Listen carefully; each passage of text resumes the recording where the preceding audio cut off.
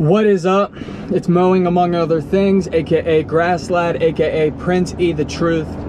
And it's my off day today from mowing. I'm gonna try to get a couple things done. I'm gonna head up to Salem right now, check on a couple properties, um, taking recyclables to the dump or recycling center or whatever you wanna call it. Um, I thought I'd take this time today to discuss some of the um, finances regarding mowing by yourself, although I do mow with my dad.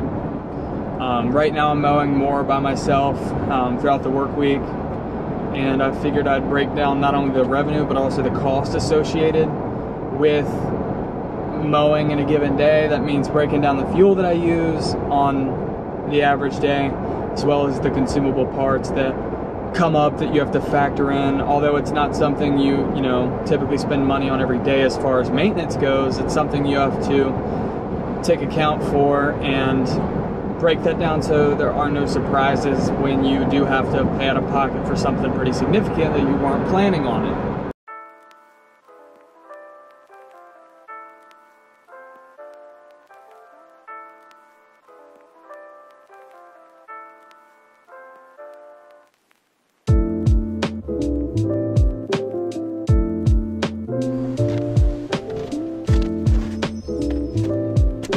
With the recycling. Headed up to do a couple more errands in Salem. It's hot today.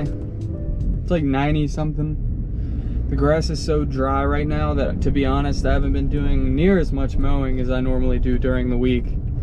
Um, a lot of yards are going two weeks, and some are going even longer than that because it's just dead and it's gotten to the point where a quick rain's not enough to rejuvenate it.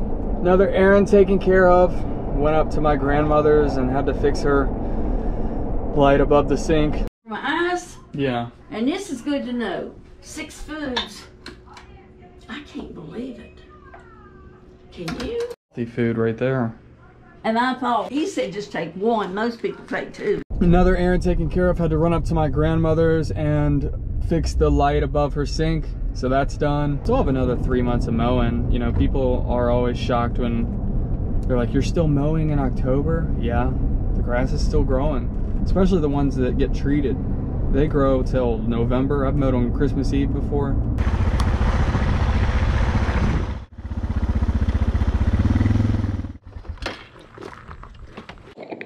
Mowing finances vary from person to person, and whether you're working for a company or you own your own company or you work for someone that has their own company, whether it's one person, two people, three people, four people, if it's anything above two, it's usually an hourly kind of thing. We have our own equipment, can kind of charge what I want, and I get paid per job, which is the sweet spot when it comes to, to mowing. I'm gonna break down the take home pay for an average day, an average full day of a solo mowing for me during the week. I don't mow alone on Saturdays. Um, Saturday is a work day for us, and we do divvy that up. Um, usually 33%, 33%, 33%, 33 to me, 33 to my dad, 33 for taxes and expenses and that sort of thing, gas. But as far as when I mow by myself, assuming now these are all average estimates now um, the yard count will absolutely vary whether it's you know four gigantic yards or 10 small ones i see a lot of clickbait titles on youtube talking about you know i mowed 12 yards in one day and you know six hours and i can do that if it's you know 10 lots directly beside one another you know in like a cookie cutter subdivision setting but we have some properties that are three and four acres, and that's going to take a couple hours.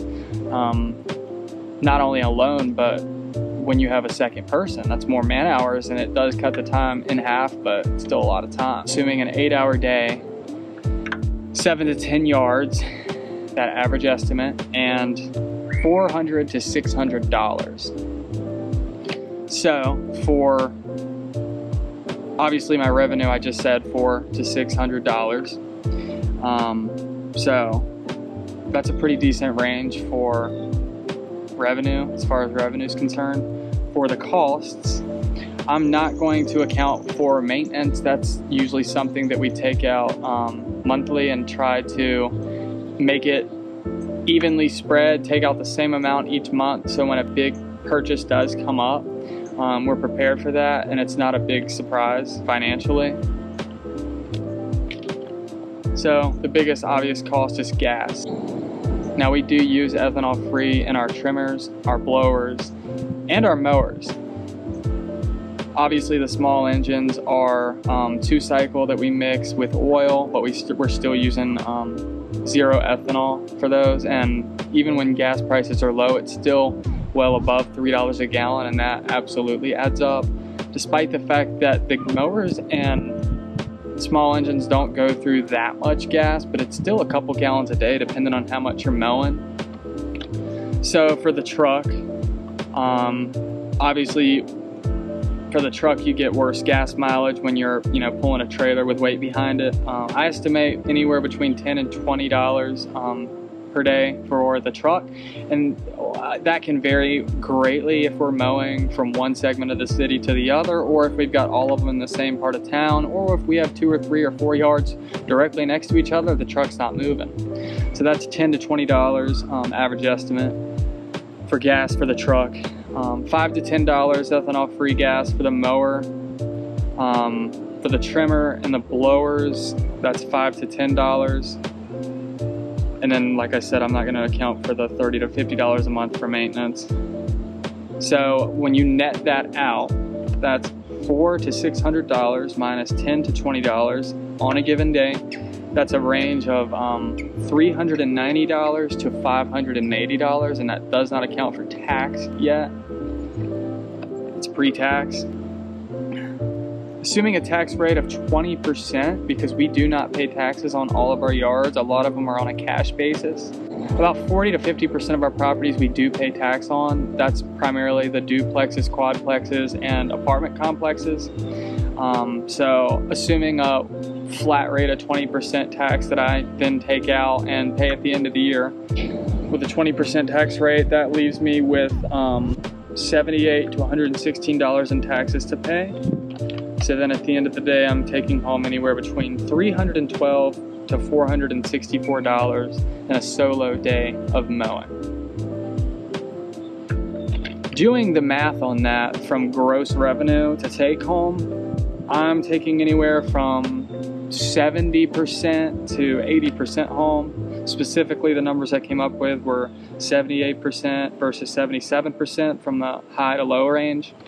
But um, pretty good, pretty good take home, and um, you can make a lot of money if you own your own equipment and you keep your hustle up, and you're getting paid per job.